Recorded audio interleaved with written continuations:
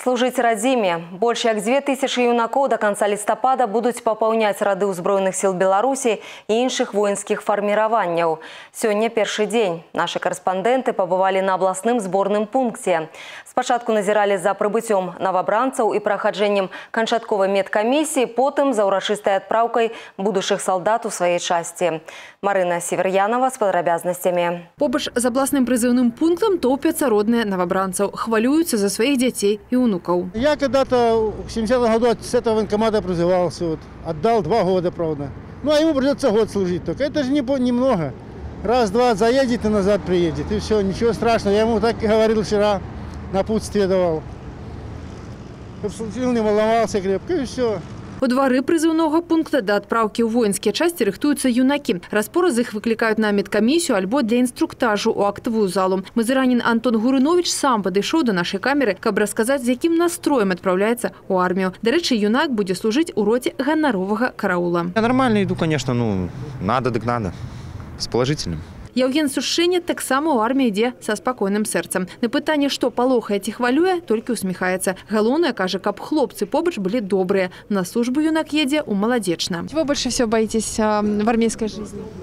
Да, так ничего. Главное, чтобы ребята были хорошие и все.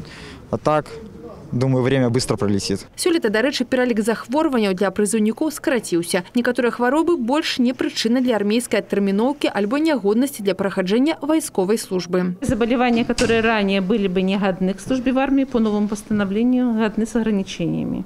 Можно назвать вот несколько самых распространенных. Это патология сердечно-сосудистой системы, некоторые аномалии развития, например, открытое овальное окно.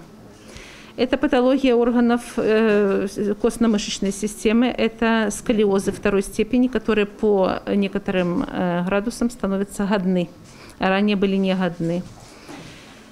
Ну и, в принципе, вот это, наверное, основное. Ваенныя камісары кажуць, што нягледзячы на неспрыяльную педсітуацыю, асенні прызыў праходзіць спакойна у штатным рэжыме, аднак з усімі неабходнымі санітарна-гігіенічнымі нормамі. План па камплектаванню ўнутраных войскаў будзе выкананы. В основном это э, силы специальных операций, учебные воинские части, органы пограничной службы, внутренние войска, Министерство внутренних дел. Больше всего ребята, конечно, хотят э, в элитные подразделения. Это э, спецназ, э, спецподразделения, ну и э, погранкомитет, э, ну и внутренние войска, где они смогут себя достойно проявить и показать себя э, с целью того, чтобы достойно выполнить э, те задачи, которые будут э, ставиться командирами, начальниками, ну и, и иметь непосредственно э, авторитет среди своих сослуживцев и сверстников. Папаўненне новабранцамі шэрагу ўзброеных сіл завершыцца 30 лістапада. Марына Северянова, Сергей Камкоў, тэлерадыёкампанія Гомель.